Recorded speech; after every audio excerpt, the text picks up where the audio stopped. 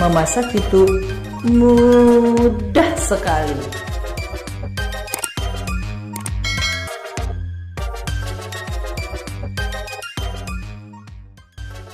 Hai teman-teman, Dapur Tetis Cake kali ini mau berbagi resep roti manis isi kacang-kacangan. Enak, mudah buatnya. Bagaimana caranya? Ikutin terus videonya. Terima kasih untuk dukungan like, comment, share, and subscribe. Memasak itu mudah sekali.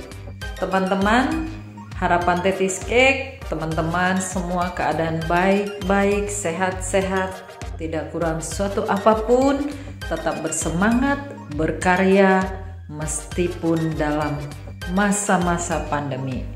Oke teman-teman, sukses pun diraih.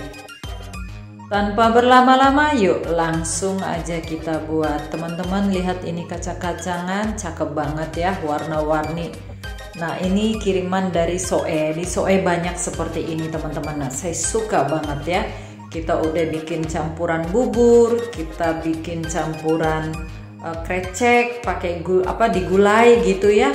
Masih banyak kacangnya, lalu saya bikin isian roti teman-teman. Nah ini kita udah rebus. Di sini saya pakai margarin, lalu ada garam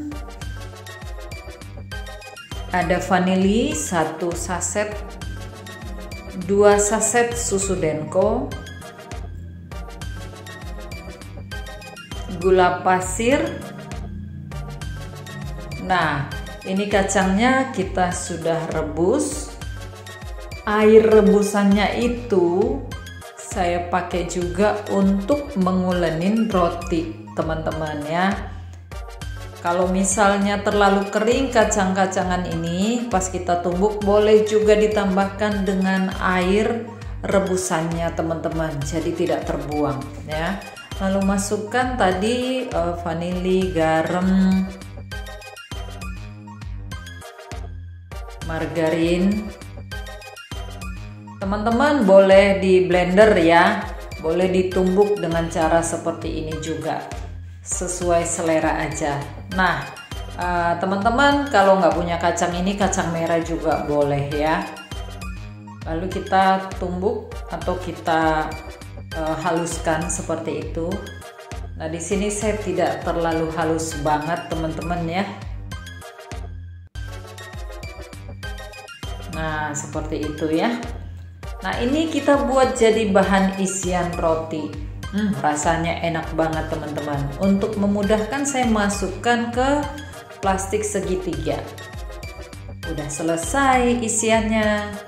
Nah, kali ini saya buat teknik tangzong teman-teman ya. Eh, campuran rebusan kacang tadi dengan 2 sendok makan terigu. Nah, ini kita masak sampai dia seperti pasta teman-teman ya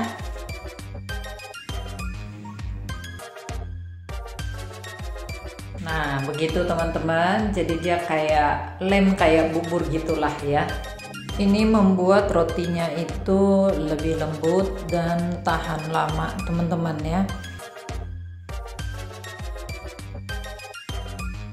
Nah hasilnya seperti ini. Lalu kita angkat. Kita dinginkan ya Oke, ini bahan roti yang kita pakai di sini. Saya pakai gula pasir, butter, air rebusan kacang, terigu, satu kuning telur, garam, dan ragi. Oke, sekarang kita satukan bahan-bahan terigunya. Masukkan gula masukkan ragi. Masukkan rebusan air rebusan kacang masukkan garam. Masukkan kuning telur. Masukkan tangjongnya jadi sangat praktis banget teman-teman buatnya. Jadi teman-teman juga bisa coba di rumah ya. Lalu kita campur kita ulenin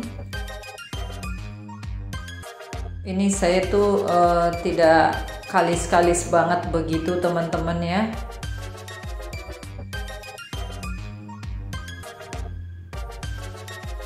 Nah kita aduk-aduk seperti itu. Masukkan butternya. Lalu kita ulenin lagi kalau teman-teman mau pakai mixer silahkan ya. Nah ini saya buat dengan cara sederhananya teman-teman ya. Jadi kalau nggak punya mixer nggak ada masalah teman-teman. Tetap bisa bikin roti yang enak ya. Nah udah seperti ini kita istirahatkan satu jam. Oke ini dia. Setelah kita istirahatkan taburi terigu di atas meja kita. Tentu meja kita sudah bersih. Nah ini kan uh, lembek banget teman-teman ya. Jadi eh, teman-teman uh, supaya tidak lengket jangan ragu-ragu untuk menaburi terigu teman-teman ya. Tipis-tipis aja yang penting tidak lengket di tangan ya udah kayak nyuci. Nah lalu kita bagi. Teman-teman boleh timbang ya supaya rata. Ini kira-kira 80 gram satu satu roti. Lalu kita bulat-bulatkan. Kita bulat-bulatkan lalu kita istirahatkan 30 menit baru kita isi teman-teman Oke, saya pakai alasnya uh, kayu teman-teman, telenan ya.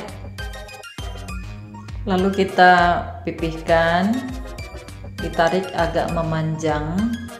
Karena bentuk roti yang saya buat ini panjang lonjong teman-teman. Lalu kita semprotkan bahan isian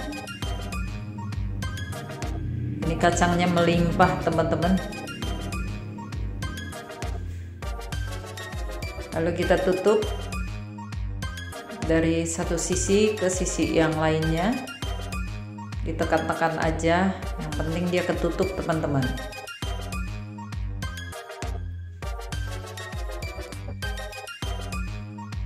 Nah ini bisa jadi ide usaha ya teman-teman. Kita bisa berjualan roti isi kacang-kacangan isiannya bebas teman-teman. Mau isi kacang merah atau kacang apa yang tersedia aja ya. Kita ulang lagi kita isi lalu kita tutup. Nah ini dia dapat 6 dengan 80 gram uh, donya teman-teman. Oke itu kita istirahatkan lalu kita olesin dengan kuning telur. Ini menambah uh, penampilan rotinya itu mewah banget teman-teman. Hmm, keren banget. Apalagi dalamnya kacang lagi kacang-kacangan. Hmm, aduh mantep banget teman-teman. Memasak itu mudah sekali. Dicoba ya teman-teman. Nah di sini saya punya stok slice almond. Lalu saya buat sebagai bahan topping roti ini sesuai yang tersedia aja ya teman-teman. Kalau nggak ada boleh di skip. Kita istirahatkan kita panaskan oven lalu kita panggang. Suhu waktu disesuaikan dengan oven masing-masing ya teman-teman. Nah ini dia. Sudah selesai. Coba kita lihat. Masih agak panas-panas Oh ya teman-teman, loyangnya dialasin dengan butter. Butter ya supaya tidak lengket. Nah, ini dia. Yang berikutnya Nah, kalau sudah dingin ya, ini jadi ide usaha teman-teman. Kita bisa berjualan roti yang isiannya bebas sesuai selera aja. Aduh, patah. Nah, lalu kita packing dengan plastik panjang seperti itu, teman-teman. Nah, jadi kayak di bakery-bakery gitu ya, teman-teman. Keren ya, teman-teman. Memasak itu mudah sekali. Dicoba ya teman-teman. Nah, udah selesai. Waktunya kita coba. Hmm. Kacangnya melimpah teman-teman. Oke teman-teman, terima kasih sudah menonton. God bless you all. Makasih.